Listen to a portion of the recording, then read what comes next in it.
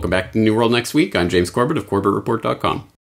And I'm James Evan Pilato of MediaMonarchy.com. Virtual flag terror is here. We have three developing stories on this 280th episode of New World Next Week, and they're all basically about rage clicking in the year of divide and conquer.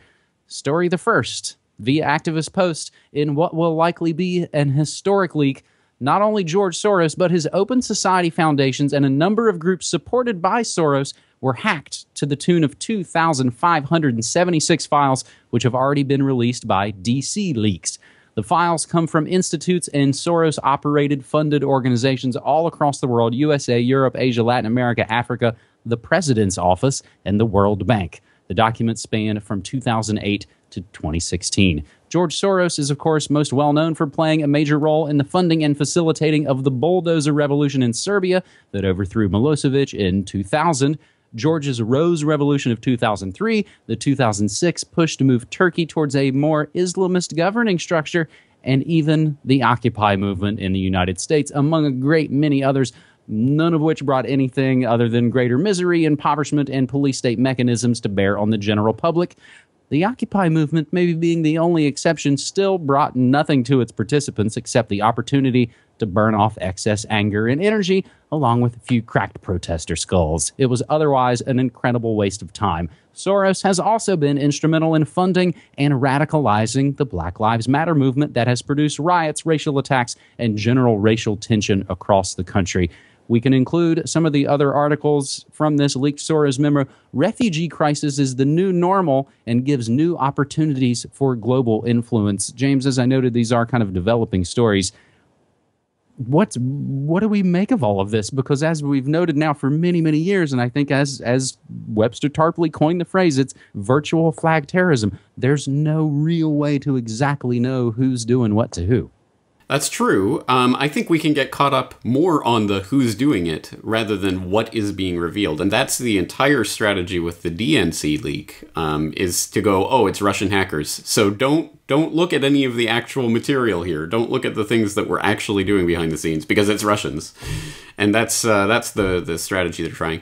That's not the important part of this story. In fact, even for people for, especially for people who uh, know, for example, from episode 113 of the Corbett Report, Meet George Soros, know about Soros and all the shady stuff that he's involved in. It's tempting to take this and just dismiss it as, uh, you know, nothing. We already knew all of this kind of, you know, dismissal. It's, I think it's more important than that. The point here is that it is 100% open and established that people like Soros and groups like the Open Society Foundation are pulling strings and are pushing levers and trying to get you to react with rage, trying to pit you against your neighbor, trying to make you hate, you know, that person down the street, rather than looking at people like the Soroses of the world. The question is, how are you going to respond to that? Are you going to play into that? Are you going to say, are you going to get into the rage cycle of the damn refugees and, oh, Black Lives Matter protesters and those are the enemies? No, the enemies are the ones who are making this happen happen at the top. That is what we have to keep in mind. And the only way to win their rigged game is not to play it. Do not give in to the, the, the dissension and the strife because they want you rioting on the streets. They want the rage. They, they, they grow in power with the rage. So don't give into it. Do not give them that. Instead, focus your energy against the, the Soroses uh, and, and his ilk. Those are the real enemies and I think a lot, a lot of this rage, and again, it doesn't kind of turn on overnight. It's a slow kind of building thing. A lot of it has been built by, I think, the the cognitive dissonance that hurt in your stomach from trying to make sense of looking around at a world that does not really make sense anymore. The stories don't make sense, even from a logical, like beginning, middle, and end kind of story structure kind of way. And I think that's led to a lot of what we're seeing. So there's a comment. And again, everything we say and play will be included in the show notes down below. So please follow that and, and do more research and, and comment and share. And that's how, again, we kind of learn our way forward, like our buddy Richard Grove says. But I think where a lot of this comes from is none of it makes sense and everything does seem so crazy. There's a comment on the activist post story about hack proofs, dissident groups, and movements funded by Soros that kind of notes we're in the twilight zone. We're in a strange spot where Soros funds the legalization of marijuana, which is ultimately a massive peaceful movement, and then he funds violent movements as well. It's all these things that don't seem to make sense, which gets at the fundamental part, I think, James, of they fund both sides. That's a pithy, small way to put it, but that's really what's going on. They fund both sides to kind of foment their order out of that chaos. So things are really kind of crazy here in the States right now. Cities quite literally on fire, and America's next top president can't stand up for falling down. So we'll include the link to your older episode as well, James Meet George Soros, as we move to our second story this week on the hacks that never end. And we take a story from Business Insider Shadow Brokers claim NSA hack and share some high tech hacking tools. Cybersecurity experts are searching for answers after an unidentified group claimed on Monday to have hacked into Equation Group, an elite cyber attack group associated with the NSA. The Shadow Brokers claimed in a post on Tumblr to have hacked Equation Group and say they're holding an auction to sell off the cyber weapons they were able to steal. Shadow brokers have provided samples of files free to access to prove their legitimacy. Now, Business Insider actually goes on to say, we didn't actually post any of this because it might put them in a damaging situation. So, this is another ongoing, developing story I don't really know who to trust in a lot of these situations. James, do you? Uh, there is no one to trust with a story yeah. like this because there are so many potential layers to this. I'll throw in a link to um, my appearance on Declare Your Independence with Ernest Hancock yesterday, where I was talking about this story and the various layers involved. But I think it's important to note that it's not that these hackers, whoever they may be, hacked into the NSA per se. It seems that they hacked into a malware staging server for the NSA. Of course, the NSA doesn't mount their malware attacks on others from their own servers. They have servers around the world that they use for those purposes. It looks like someone was uh, hacking into this. Snowden, for whatever that's worth, is on Twitter saying that this is probably Russia and it's probably them sending a warning to the US to say, we know whatever you were doing on this particular malware staging server, we know it because we were monitoring it. Um, and he's he thinks that that's uh, kind of a chess game about the DNC leaks, and you, you know, don't blame us because we have goods on you, kind of thing. Again, take all of this for whatever it's worth. I mean, it's just layer upon layer upon layer of the onion, and who knows who this real this shadow banking or shadow broker group is or what their real agenda is or whether it's the NSA itself doing it to itself. I mean, I don't know. There's so many different possibilities here.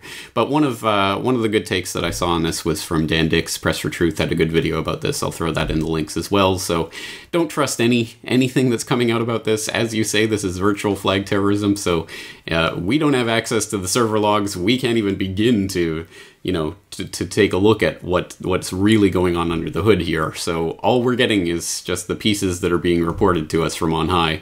Take them for what they're worth.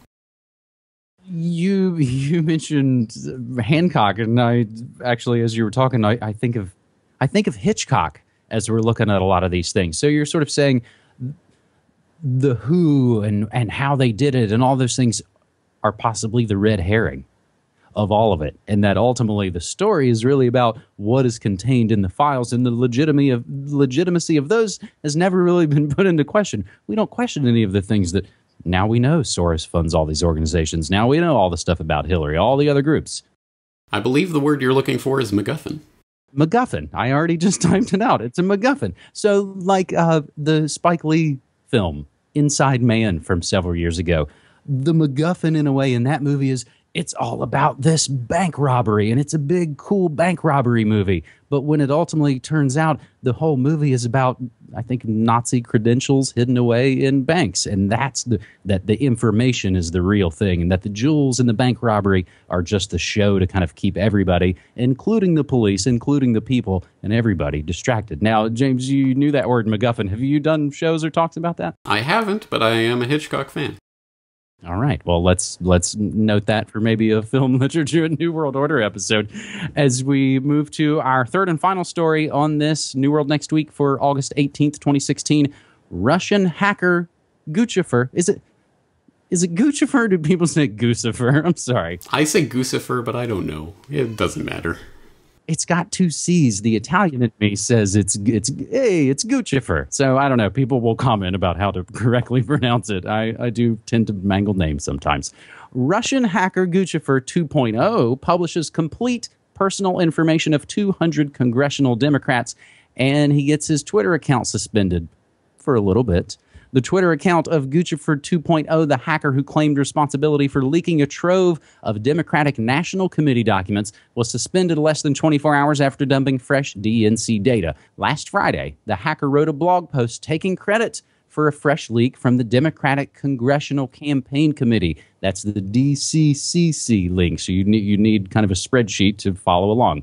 He published an Excel spreadsheet containing the mobile phone numbers and email addresses of every Democrat in the House of Representatives, every Democrat in the House of Representatives, as well as passwords to DCCC files to substantiate his claim. The hacker who had actively been using Twitter to publicize his leaks has since had his account suspended, but it's been reinstated. You can go to it right now and see that he's retweeting and doing all the normal Twitter things. Enter another character onto this drama WikiLeaks claimed that the suspension was related to the publication of the DCCC documents. And again, we don't really know who to believe anymore, whether or not this is Guccifer or Guccifer, or whether he's Russian or, or what. James? Look, here's the thing about this. He's running a WordPress.com site. He's uh, on Twitter. You know, I mean, it's not like the NSA can't bring to bear their multi gajillion dollar, you know, tech, uh, spying tech to, to find out who this guy is and where he is and, you know, nab him. Uh, if they really wanted to. That's the thing about this. Who who is allowed to leak and what are they allowed to leak and why are they allowed to leak it? Because it has to be seen in that context especially when the NSA is the internet and the internet is the NSA they know where this guy is and they can shut him down at any time. And clearly like Twitter they shut him down for a little while but uh, okay you, you can keep going. Keep going. Keep keep leaking I mean, either it doesn't even necessarily mean that whoever this Guccifer is, maybe it could be a real person who really believes that they're really leaking. But if you're being allowed to leak this stuff, that's that puts it in a different game because clearly there's someone upstairs who's who's uh, not unhappy with what you're doing, and we have to think about why that is, and what again, what is the end purpose of all of this, and does it just serve to uh, to fan the flames of the summer of rage? I, it definitely does that, and that's a th- I think a thing to remember, sort of too. In the, in the gaming world, and all those certain areas, we hear those stories about swatting, about sending SWAT teams to someone's house on on false pretenses. The people who do that are busted immediately. Anytime people try and do any sort of tech crime, you see nothing but those stories in all your local news. But somehow, some way, the most wanted people in the world, terrorists and hackers, are able to just willy nilly do what they want on tools that we know, again, they created and they put back doors in. So uh, that's the thing to think about. Again, before we go freak out and yell and scream about who's on what side, I kind of think a good one to always go back to is the capitalist conspiracy, the old G. Edward Griffin film strip that kind of gets into the strategy of tension. And it is Wall Street essentially funding both sides, whether those are the Bolsheviks or the Allies or Black Lives Matter or alt right whatevers. James, there is there is a little bit of good news, I suppose. The latest episode of Good News Next Week. I had taken a couple of weeks off because we had been out of town, and honestly, not a hell of a lot of good news to go over. So this latest episode of Good News Next Week is kind of a double sized and has probably twice the amount of stories we would typically cover. It's called Little Free Pantries on Your Sidewalk Give Shelf Stable Help. It's sort of about the growing movement of little free libraries or community fridges in places. Also, Ireland jails banksters and Canada frees patsies on that Good News Next Week episode. James, the only other thing I will mention is not even a hashtag New World Next Week story, although you can pretty much be up to date on everything going on in the world using that hashtag. One last article, I think, that kind of points out, again, the Twilight Zone crazy world that we're in. The musical question is asked Who got us into these endless wars? And the answer from Pat Buchanan it's the Council on Foreign Relations. We'll include that article, and again, everything that we say will be included in the show notes for these episodes. James, you could say a lot about the times we're living through, but you can't say they're boring. Um, well, anyway, yeah. we here we are documenting them. Thank you again for the stories. Talk to you again next week. All right, man. Thanks.